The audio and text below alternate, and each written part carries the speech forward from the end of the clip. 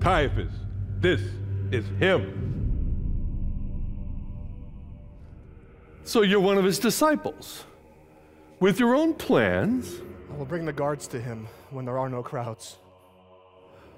I understand you're the one who takes care of the money. Yes. What is your price for betraying your leader? It doesn't matter. I will take you to him when there is no one else around. I will kiss him, and the guards will know exactly who to arrest. 30 coins.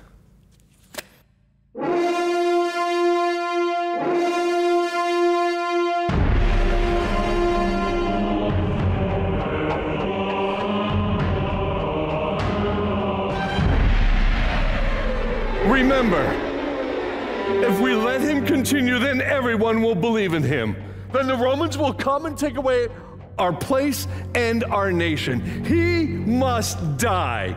These miracles and his teaching will come to an end. Then his followers will quickly fade away.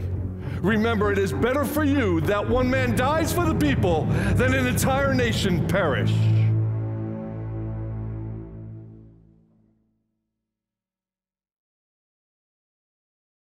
Mm.